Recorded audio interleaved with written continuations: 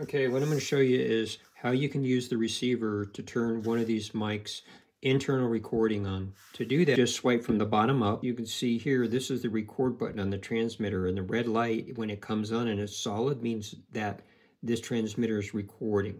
So what I'm going to do is I'm going to tap on. Now we're recording. It shows that there's a red REC text right there. If I were wanting to mute this mic, all I would have to do is tap that and you can see now we're going to have this kind of a blinking, very slow blinking red light there. Now to record it again, so I'm going to tap it again, solid red, now we're recording again. This one over here is the noise reduction. So that noise reduction is now off.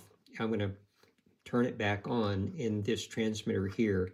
Now to get out of here, all we have to do is just swipe down and in the main touchscreen, you'll see that the right channel or the right mic, which is this one right here, is recording and it shows a red rectangle around the, the right transmitter indicating that this is recording internally. And that's pretty cool. So to turn it off, what you have to do, swipe up again, tap, and now it's off. And then you still are recording the whole time. Yeah, pretty cool.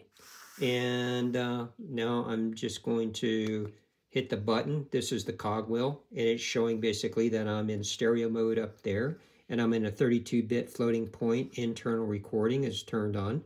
And then if I hit it twice, this is the left channel. And you can see this yellowish rectangle here indicating which one I'm on. If I hit it again, I'm on the right.